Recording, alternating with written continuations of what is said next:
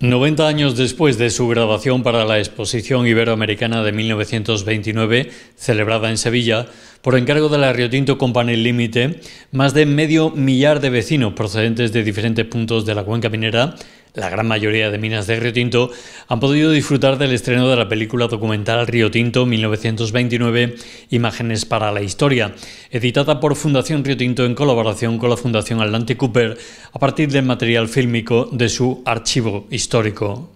Para la ocasión, un flamante Ford A de 1929, propiedad de Transporte Francisco Castellano, Social Limitada, el PUNI, aparcado a las puertas del Cine Teatro Juan Cobos Wilkin de Minas de Río Tinto, preparaba a los espectadores para el viaje en el tiempo que estaban a punto de experimentar. Ya en el interior, tras el saludo protocolario de la concejala de Cultura, Turismo y Patrimonio, Azara González, el director del Archivo Histórico de la Fundación Río Tinto, Juan Manuel Pérez, se encargó de trasladar a los espectadores al punto de partida para contextualizar el momento y ofrecer todo tipo de detalles sobre la película. Tras salvar el impacto emocional de las primeras imágenes inéditas, el murmullo en el patio de butacas del cine teatro se convirtió en una constante cada vez que los espectadores reconocían alguno de los rincones más emblemáticos del antiguo Río Tinto.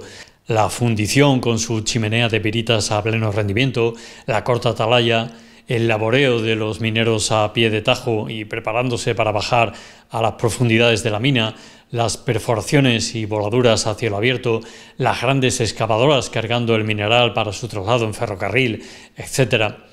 Otras tomas daban testimonio de la vida cotidiana, como la celebración del carnaval, encuentros de fútbol, médicos y enfermeras atendiendo a pacientes en el hospital, el asilo, los primeros Boy Scouts de España, el barrio obrero de Huelva y la Casa Colón, las operaciones de carga en el puerto y los barcos zarpando hacia los principales destinos del mundo con sus bodegas repletas de mineral.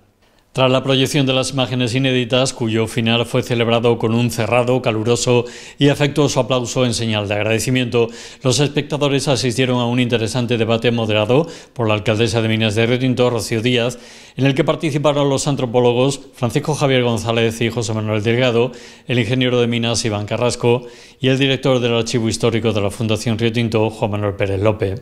Díaz eh, cerró el debate anunciando la donación de la parte del film en la que se puede ver el antiguo pueblo de Río Tinto al Museo del Pueblo de Río Tinto para su proyección permanente. A la finalización del evento organizado por el Ayuntamiento de Minas de Río Tinto, los representantes de las fundaciones presentes en el mismo, José Luis Bonilla por parte de la Río Tinto, Antonio de la Vega de Atlantic Cooper y Ramón César Martínez de Atalaya, coincidieron en destacar la emoción experimentada por todos tras recuperar unas imágenes que podrán disfrutar próximamente en otros municipios de la zona. Pero la verdad es que ha sido un documento histórico impresionante. Eh, nuestra fundación, en colaboración con Fundación Río Tinto, pues ha posibilitado el montaje, la confección y la guionización de este documento y yo, sin ser una persona oriunda de Río Tinto, si de Huelva, pues la verdad es que ha habido sitios, pasajes emocionantes. Yo también tengo cierta vinculación con la compañía, puesto que mi abuelo y mi bisabuelo fueron trabajadores y he tenido ocasión en el archivo de la Fundación Tinto ver sus fichas de trabajo, o sea que tiene una cierta conexión sentimental y eso también me ha emocionado. La verdad yo creo que además escuchaba en el público los rumores cuando se reconocían los sitios y eso sí que eh, yo creo que sí ha habido una conexión sentimental bastante interesante entre el, público de hoy y, y las imágenes de hace 90 años. Para nosotros ha sido una experiencia muy interesante y esperamos seguir colaborando con la Fundación Río Tinto.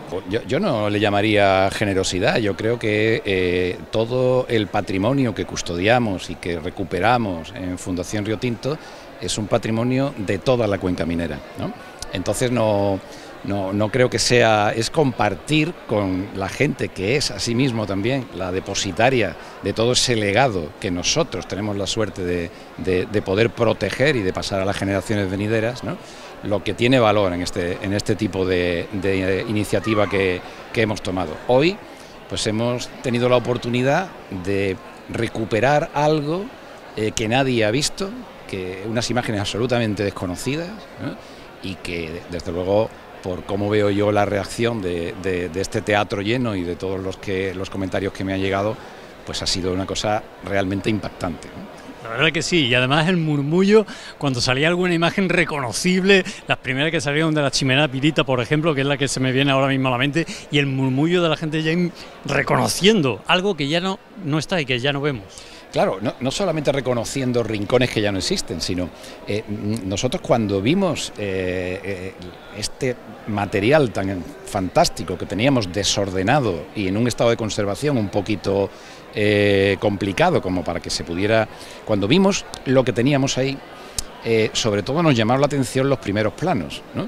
y esos primeros planos teníamos eh, la convicción de que, eh, estoy seguro de que algunas de las personas que ha estado llenando esta sala, hemos tenido aquí 600 personas, habrán reconocido a alguien, lo habrán comentado entre ellos, ¿no? porque eh, son sus abuelos, sus bisabuelos. Y, yo creo que, ese es el, principal valor emocional que le veo a lo que se ha hecho, a lo que ha ocurrido aquí esta noche. Bueno, terminamos. Mm, ¿Lo van a poder ver en el resto de los municipios de la comarca minera? Hemos hablado con el alcalde de Nerva, por ejemplo. Dice que se lo va a pedir oficialmente por carta a usted. ¿El resto de vecinos de la comarca también van a tener oportunidad? Eh, por supuesto. Eh, eh, Fundación Río Tinto es una institución de toda la cuenca minera y desde luego nuestra mayor satisfacción sería que esto se pudiera ver en los siete municipios de la cuenca minera y que además lo pudieran ver toda la gente que eh, siendo de la cuenca minera están en otros puntos de, España o de Andalucía, ¿no? Y bueno, vamos a ver cómo lo hacemos. Nos están haciendo muchas peticiones también. Eh, vamos a ver cómo lo hacemos, pero lo vamos a hacer. Hombre, yo he sentido una emoción tremenda. Una emoción tremenda porque, bueno, eh, yo sabéis que soy de, más de la cuenca minera de que ningún lado. Y este reportaje, la parte de la minería, yo no cabía de sorpresa en sorpresa, darse cuenta que en el 1929 eh, eh, era pionero, ¿no? Y sobre todo cuando haces una reflexión, 180 años después, dices, ¿cómo era posible que trabajasen allí? Bueno, trabajaban así y era lo más avanzado que había en el mundo, porque fíjate, hacían las voladuras eléctricas, había columnas con perforadoras neumáticas. Bueno, es una cosa impresionante. Estaban los ferrocarriles, estaban las excavadoras que cargaban directamente. Había unas imágenes que los que somos un poco más mineros se veían los glory holes, que se veían un segundo en unas imágenes a la izquierda, que era una especie de piqueras grandes por donde vaciaban el mineral y luego por debajo en unas piqueras cargaban las vagonetas.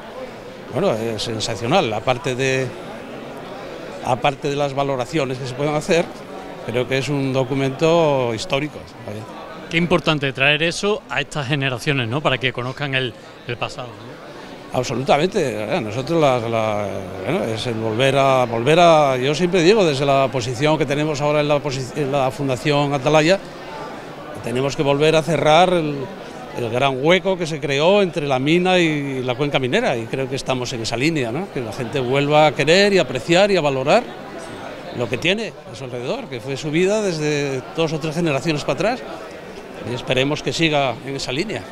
Mira, yo creo que es eh, muy importante ver cómo ha ido evolucionando o cómo ha evolucionado la minería durante estos 90 años. La minería que ahí se representa es una minería puntera para ese momento. Y lógicamente a, través de los tiempos las cosas han ido evolucionando y hoy es una minería mucho más tecnificada que la que ahí se representa.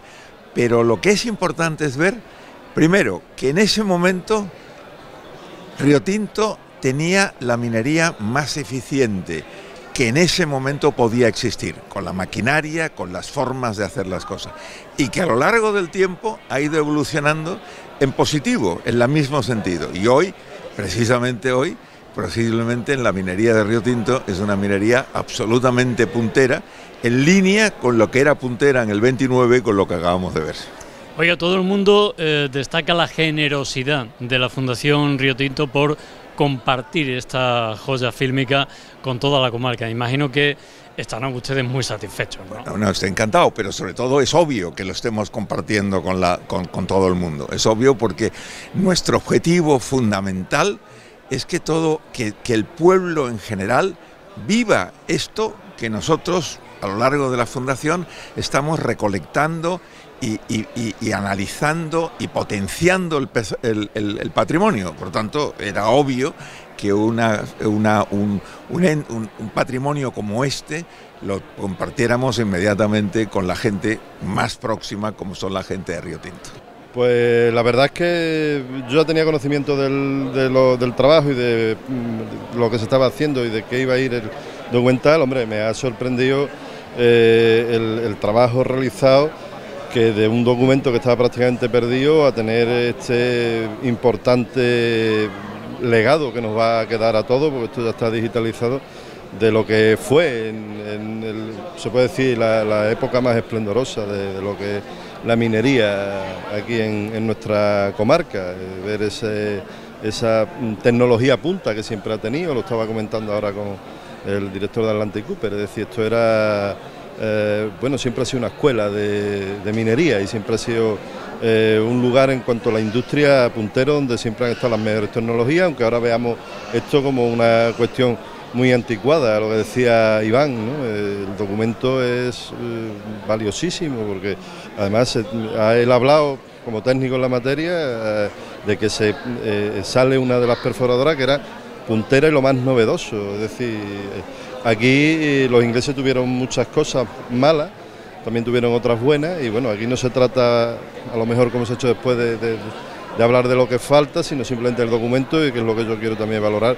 El documento me parece importantísimo, me parece que Fundación Río Tinto una vez más ha acertado en, su objetivo de recuperar eh, lo que es el patrimonio industrial, en este caso visual de nuestra eh, etapa, nuestra historia reciente, pero que, bueno, que, nos hace ver un poco qué hemos sido y, bueno, y que, lo, que pesaba esta comarca en cuanto a la industria española, con las ganas que nos quede a todos de que esto vuelva otra vez a ser, que creo que va por buen camino, que vuelva a ser otra vez eh, la, la mina más puntera de toda España.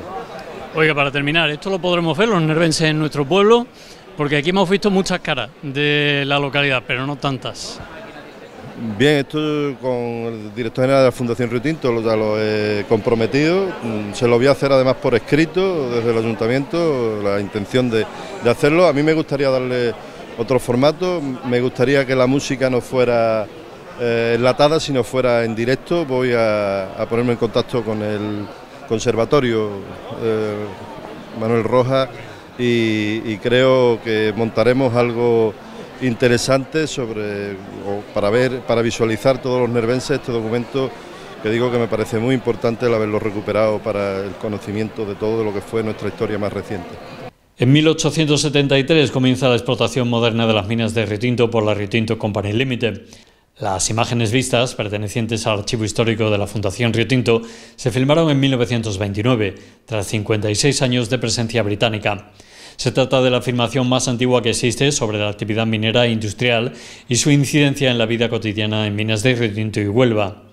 El montaje, realizado gracias a la colaboración de la Fundación Atlantic Cooper, es una selección de los fragmentos más significativos de esta joya documental de la historia económica y empresarial de Huelva.